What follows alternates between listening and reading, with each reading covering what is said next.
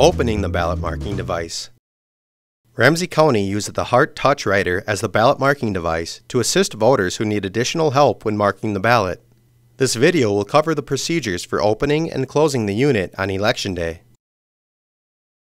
The precinct's touch writer will be delivered to the polling place with the rest of the polling place supplies before Election Day. The head judge is responsible for opening, closing, and managing the unit throughout the day.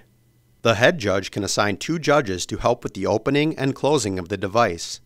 To properly open the touch writer, follow the green opening instructions.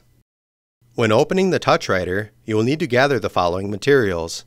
The green opening instructions from the green folder, the touch writer and its stand, the printer and its table, the voting equipment keys, the power cord, and the official certification form for the ballot marking device. Set up the touch writer in the voting area, near the voting booths, and within the 6-foot perimeter where only voters are allowed. First assemble the touch writer stand. Remove the stand from its carrying bag. Laying the table upside down on the ground, use the handle to lift and lock the leg stand into place. Now, attach the rear leg piece and the two individual front leg pieces to the stand. Press in the metal buttons to lock the legs into place. Then, flip the stand upright so it is in its proper position. Make sure the lock on the stand is forward. Then, set the touch writer on top of the stand, aligning the foot pads with the indentations. Push back the lock to secure the touch writer onto the stand. Attach the touch writer privacy screens. Then unlatch the hinges and open the touch writer case. Push the lid braces into place. Using the blue key, unlock the tablet from its compartment. Seat it in its cradle, tilt it back into place, and lock it into position. The touch writer will not operate unless the tablet is locked using the key. Next, remove the power cord from its compartment, assemble the power cord, and plug it into the back of the touch writer. Plug the other end into a power outlet. Before turning on the touch writer, you'll need to set up the printer. Place the printer table next to the touch writer and place the black printer on the table. Plug the power cord into the printer and an outlet. Plug the square end of the printer cable into the printer and the USB end into the port on the back side of the touch writer. Turn the printer on using the power switch on the side of the printer. Once the printer is powered up, Turn on the touch writer by pressing the red power button on the back side of the unit. Wait while the touch writer boots up. This may take up to 5 minutes. On the display screen, select Print Zero Report. The printout will begin automatically. Verify that the information on the Zero Report is correct. Then, verify that the seal number on the memory card case matches the number written on the official certification form for the ballot marking device. If the zero report information and memory card seal number are correct, select Open the Polls from the list on the display screen. Enter the Open the Polls password as listed on the opening instructions. The report will print automatically and the TouchWriter's display screen will be ready to accept access codes for use. Tear off the zero report and open the polls report from the TouchWriter and place the reports in the TouchWriter envelope.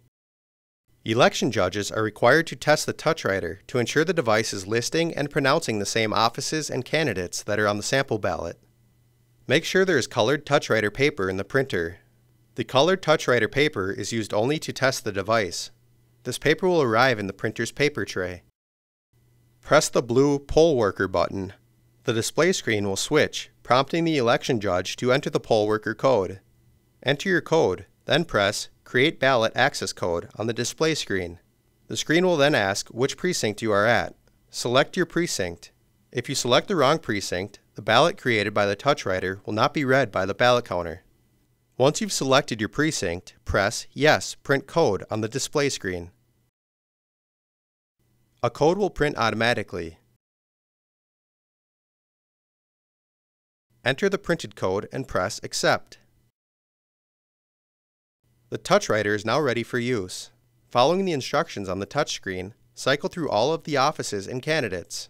Do this using the handheld device and headphones to ensure they are working properly.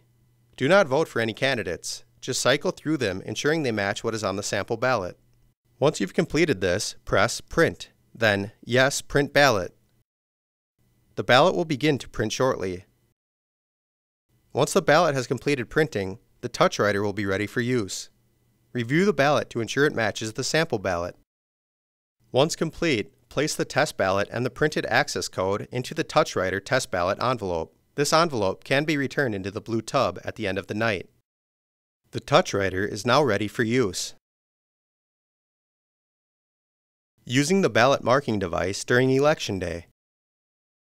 If a voter notifies the ballot judge that they need to use the ballot marking device, the ballot judge should get the head judge to assist with this process.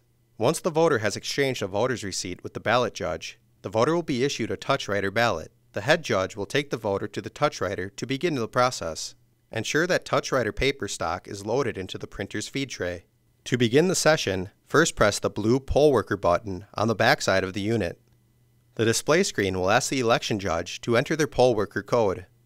This is the same code that is listed on the opening and closing instructions. Once the poll worker code is entered, the TouchWriter will ask if you'd like to create an access code. Select Create Ballot Access Code. Then a list of all precincts in the county will appear. Select your precinct. If you select the incorrect precinct, the ballot created by the TouchWriter will not be read by the ballot counter. Once you verify that the correct precinct has been selected, press the Print Code button. An access code will print from the TouchWriter. Remove this printout and enter the printed code on the display screen. Once entered, the TouchWriter will be ready for the voter to use. Have the voter independently follow the instructions and begin the voting process. The voter has the option to hear instructions while the device is in use. Place the printed access code in the manila envelope labeled TouchWriter Access Codes. Once the voter has finished independently using the TouchWriter, they will select Print on the display screen and the ballot will begin to print automatically. The head judge will notify the voter to place their marked ballot into the ballot counter to be counted. Once the TouchWriter has finished printing the voter's marked ballot, it will be ready for the next user. Closing the ballot marking device. Once the last voter has finished voting, the head judge can assign two judges to close down the TouchWriter.